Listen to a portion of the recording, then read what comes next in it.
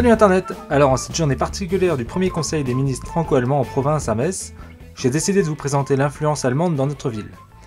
Tout d'abord sur l'histoire. La France et l'Allemagne ont une réelle histoire commune à Metz, mais commençons par le début. Alors l'époque romaine de la ville de Metz s'achève lorsqu'au 5e siècle, les troupes d'Attila franchissent le Rhin et déferlent sur la Gaule. Peu de temps après, les Huns repassent le Rhin et laissent le champ libre aux Francs. Metz devient alors la capitale du royaume d'Austrasie durant deux siècles. C'est à Metz que naît la dynastie des Carolingiens inaugurée par Pépin le Bref en 751. Cent ans plus tard, les petits-fils de Charlemagne démembrent l'empire carolingien par le traité de Verdun. L'Austrasie revient à Lothaire Ier. Au début du Xe siècle, Metz passe sous la coupe des rois de Germanie. La cité épiscopale s'approprie peu à peu les droits d'une ville libre du Saint-Empire romain germanique. En 1552, le roi de France Henri II s'empare de Metz qui devient alors une place forte du royaume de France. On citera notamment la présence de l'hospice des chevaliers teutoniques qui sera détruit après le siège d'Henri II et qui donna son nom à la porte des Allemands. Bien plus tard, lors de la défaite française de 1870, l'annexion de l'Alsace-Lorraine par l'Empire allemand conserve et renforce la fonction militaire de Metz. Comme dans le reste de la Moselle, l'enseignement du français est supprimé dans les écoles primaires où les instituteurs allemands donnent l'enseignement en allemand. Le français est toutefois toléré comme langue étrangère dans quelques établissements bilingues. Metz se transforme sous l'action des autorités allemandes qui décident de faire de son urbanisme une vitrine de l'empire wilhelmien. Dès 1871, le système défensif de la ville a profondément été corrigé, avec la construction d'une ceinture de forts éloignée de type von Biller. Fin 19e, l'empereur décide alors de détruire les fortifications de Cormontaigne en conservant la tour Camoufle, la porte serpenoise et la porte des Allemands. Un réseau de tramways apparaît dans la ville.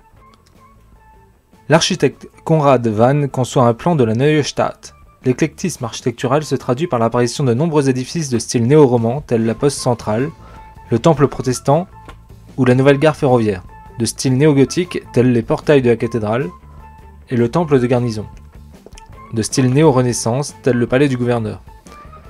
Comme dans d'autres cités du Reich, une tour Bismarck est élevée à la mémoire du chancelier Otto von Bismarck, sur le mont Saint-Quentin. La Seille, qui passait auparavant dans Metz, est asséchée pendant les travaux de suppression des fortifications. En 1910, le maire Paul Böhmer écrit À côté du vieux Metz pittoresque de l'époque française, un Metz moderne est en train d'être érigé, qui doit sa création à l'initiative et la force de travail allemande. Au hasard des mutations, les plus grands noms de l'armée allemande comme Göring, Ribbentrop ou Guderian sont passés par Metz, acquérant la conviction que la ville était définitivement allemande. En 1914, Metz, que survolent quotidiennement les zeppelins de Frescati, est devenue la première place forte de l'Empire allemand. La ville bien défendue ne sera pourtant pas épargnée par les combats de la Première Guerre mondiale. Lorsque celle-ci éclate, les Mosellans se battent loyalement pour l'Empire allemand. Très rares sont les appelés qui désertent et parmi eux, beaucoup tomberont au champ d'honneur sous l'uniforme allemand, sur le front de l'Est. Metz revient ensuite à la France.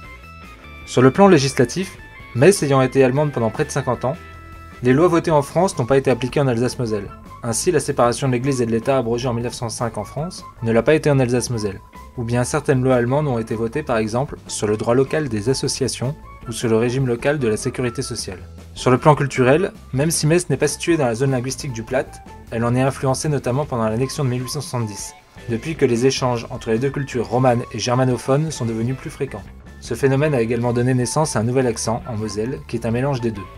On retrouve par exemple plusieurs mots germaniques dans le parler du pays messin, qui sont plus ou moins francisés à l'écrit, Schmecke, Schloff, Schness ou encore l'expression romane clencher ou l'expression hybride ça get small. À la louche, on citera Bugne, Cornet, Leder, Schnareux, Schlass, Schlacke, Schluck, Schlingue, Schnaps, Schness, Spatz, Spritze, Starf, une torgnole, touillé. Enfin, sur le plan économique, l'Allemagne est très largement le premier client et le premier fournisseur de la Lorraine, avec 5 milliards d'euros d'exportation et 5 milliards d'euros d'importation. Cela tient à la proximité géographique et à l'implantation principalement en Moselle de filiales de groupes allemands. On pourrait encore citer bien d'autres exemples de l'histoire franco-allemande de la ville de Metz, mais on en aurait pour des heures. A bientôt pour une prochaine vidéo